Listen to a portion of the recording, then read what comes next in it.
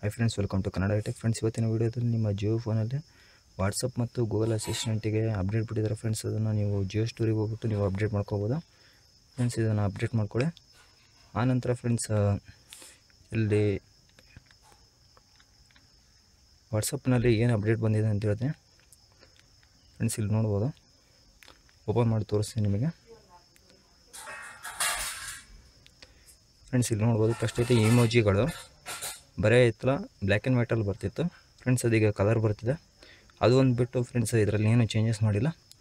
Friends ಇದೇ ರೀತಿ ನಿಮಗೆ ಕನ್ನಡದಲ್ಲಿ ಜಿಯೋ ಫೋನ್ ರಿಲೇಟೆಡ್ ಯಾವ್ದಾರ ವೀಡಿಯೋ ಬೇಕಾಗಿದ್ದರೆ ನಮ್ಮ ಚಾನಲ್ನ ಸಬ್ಸ್ಕ್ರೈಬ್ ಮಾಡ್ಕೊಳ್ಳಿ ಅಥವಾ ಮತ್ತು ನಿಮಗೆ ಯಾವ್ದಾರ ವೀಡಿಯೋ ಬೇಕಾಗಿದ್ರೆ ನನಗೆ ಕಮೆಂಟ್ ಮಾಡಿ. ಫ್ರೆಂಡ್ಸ್ ಅದು ವೀಡಿಯೋ ಮಾಡೋಕ್ಕೆ ನಾನು ಟ್ರೈ ಮಾಡ್ತೀನಿ. ಫ್ರೆಂಡ್ಸ್ ಈ ವಿಡಿಯೋ ನೋಡಿದ್ದಕ್ಕಾಗಿ ಧನ್ಯವಾದಗಳು.